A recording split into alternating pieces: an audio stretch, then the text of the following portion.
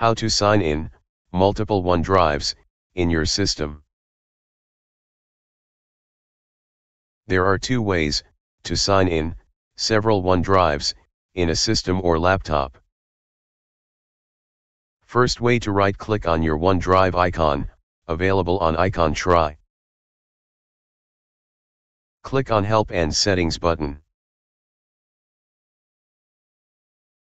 Now select Settings in pop-up menu.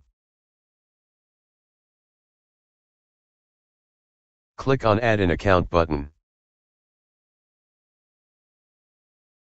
Enter your OneDrive email address. After input your email address, click on Sign In button.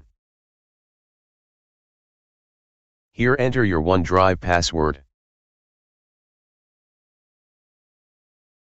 Your second OneDrive account is now available in your system, you can also sign in more accounts by click on Sign In button again. Here you can see now both accounts icon are available in Icon Tray. Second way is to open OneDrive folder, then right-click, and select Settings in menu. Then follow the same steps, shows earlier in this tutorial.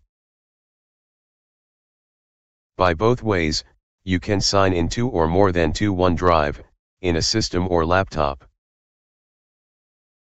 Must like and share, also, don't forget to subscribe.